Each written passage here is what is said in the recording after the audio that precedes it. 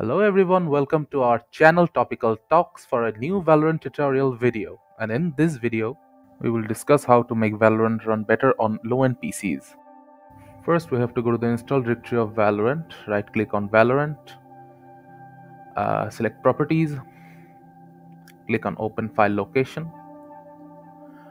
Now go Valorant folder, live valorant.exe, right click on it, go to properties, compatibility, and select disable full screen optimization.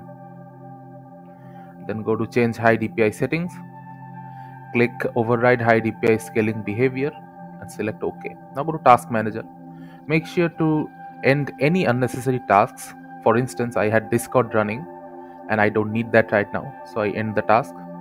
Just make sure that you don't uh, end any important tasks or Windows tasks. Now let's open Valorant. Let's go to settings. Now go to video settings. Click on display full screen and uh, aspect ratio method letterbox. Click apply. Turn off every FPS limiter. And if you're using an NVIDIA graphics card, make sure that you turn low latency on.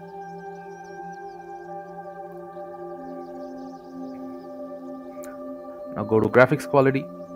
Make sure to turn multi-threaded rendering on. Set every detail quality to uh, low, vignette and VSync off, anti-aliasing none, anisotropic filtering 4x or 8x, improved clarity, experimental sharpening off, bloom off, distortion and cast shadow also turned off. Now go to audio, turn off HRTF.